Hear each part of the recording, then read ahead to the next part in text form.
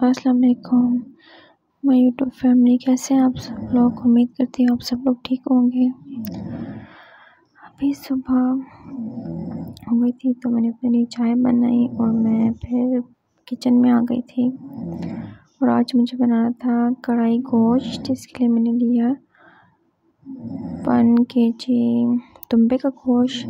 उसको छोटी बोटियों में काट के धो लिया था।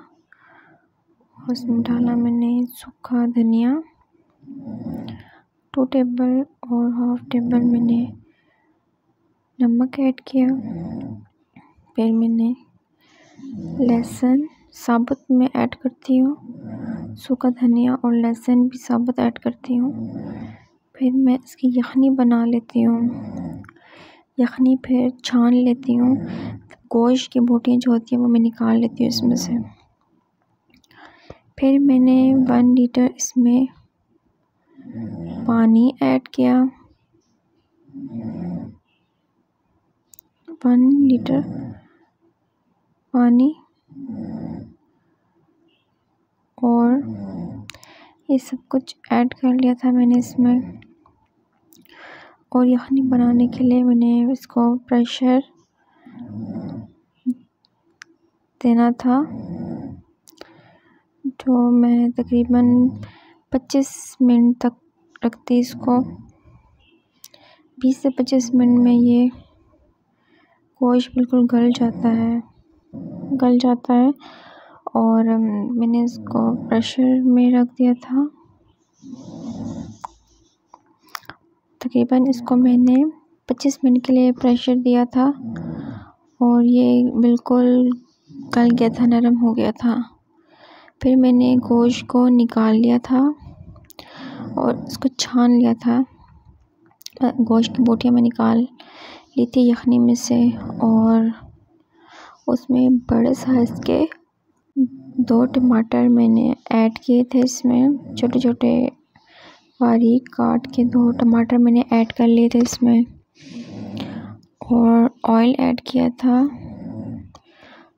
ऑयल थोड़ा ऐड किया था मतलब इतना कि टू टेबल स्पून लगा लें, क्योंकि यखनी में जो ये बना है, उस यखनी में मतलब बहुत ऑयल इसने, इसमें गोश्त में ऑयल होता है बहुत तो यखनी का जो पानी था उसमें बहुत ऑयल था तो वो भी इसी में ही मैंने ऐड कर दिया था। इसके अलावा टू टेबल स्पून मैंने डाला है। ऑयल। उसमें से मैंने इसकी जो प्रेशर में से मैंने बोटियाँ निकाल ली थी और इसको मैंने रख दिया था टमाटरों को गलने के लिए क्योंकि गोश्त तो गल गया था। टमाटर जब गल गए, नमक तो मैंने इसमें ऐड किया हुआ था तो इसमें मैंने ऐड किया काली मिर्चें। काली मिर्ची थोड़ी सी ऐड की थी मैंने। और हरी मिर्चें ऐड करके और इसको मैंने दम पे रख दिया था ताकि मिर्चें भी गल जाए और जो काली मिर्चें मैंने डाली हैं तो वो इसमें सॉफ्ट हो जाए। अच्छे से। बहुत मज़े की ये सिंपल सी कढ़ाई झटपट से बन जाती है। बहुत मज़े की होती है ये। और मैंने गोश्त जो था वो दुम्बे का लिया था। और इसको मैंने दम पे अभी ढक के रख देना है। और ये अपनी भाप में मतलब मिर्चें भी गल जाएँगी और ये खूब इसमें मसाला अब्ज़ॉर्ब हो जाएगा।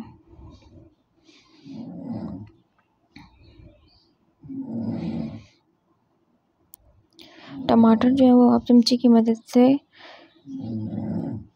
कूट लें। और ये इतने मसला भी नहीं होता, क्योंकि ये गल जाए तो ख़ुद ही मतलब नरम हो जाते हैं तो ख़ुद ही टूट जाते हैं टमाटर नरम हो के फिर इसको मैंने रख दिया था दस मिनट के लिए दम पे। और बहुत मज़े की बनी थी, मेरे हस्बैंड को बहुत पसंद है। ये दम के बाद मैंने इसका जब ढक्कन हटाया तो बस ये बिल्कुल रेडी थी खाने के लिए। और बहुत मज़े की बनी थी। बहुत ज़्यादा मज़े की बनी थी। कढ़ाई। और एक किलो गोश्त जो बन जाए तो ये सूख जाता है। मतलब इतना मतलब थोड़ा सा हो जाता है। जी, बिल्कुल डन थी। मज़े की खुशबू आ रही थी इसमें से। गोश्त में टमाटर और मसाला जो था वो बिल्कुल मिक्स हो गया था। और ये इसकी फ़ाइनल लुक।